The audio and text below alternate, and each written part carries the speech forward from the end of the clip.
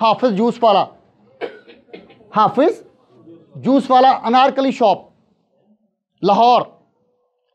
تو کہتے ہیں ہم سب اس کے پاس چلے گئے۔ تو اس حافظ جوس شاپ کے مالک بابا جی سے پوچھا، وہ تین سے چار لاکھ روپیہ پر ڈے کماتے ہیں جی جوس بیچ کر۔ تو ان سے پوچھا کہ بابا جی اتنی سیل کیسے؟ بابا جی اتنی سیل کیسے؟ تو اس نے کہا جی تمہیں طریقہ بتا دیا گلاس کے ساتھ گلاسی فری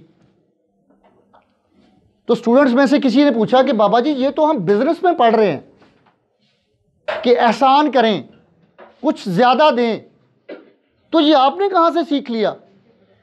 تو بابا جی نے جواب دیا کہ چالیس سال پہلے میں چھابڑی پہ کنو بیچا کرتا تھا۔ درجن تیرہ دیتا تھا۔ لوگ کہتے ہیں درجن تو ہوتے ہی بارہ ہیں۔ تو میں کہتا تھا میرے تیرہ ہوتے ہیں۔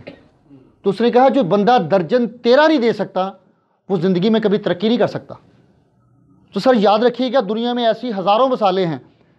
گنگا رام کہا کرتا تھا کہ جس نے اس سے بپار کیا، کبھی نقصان نہیں اٹھایا۔ بپار کیا ہے سر؟ سر کچھ تو اس کی ذات کے لیے بھی کریں۔ ہم کچھ تو اس کی ذات کے لیے بھی ڈلیور کریں۔ ہمیں کچھ تو اس کے لیے بھی کرنا چاہیے۔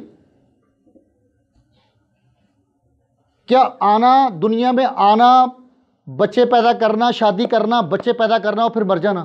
اگر زندگی یہی ہے تو زندگی تو نہیں ہے۔ تو صوفی برکت صاحب، صوفی برکت علی صاحب کہتے تھے کہ یا اللہ، اگر دنیا میں آنا، شادی کرنا، بچے پیدا کرنا اور پھر مر جانا، اگر زندگی یہ ہے تو واپس لے لے۔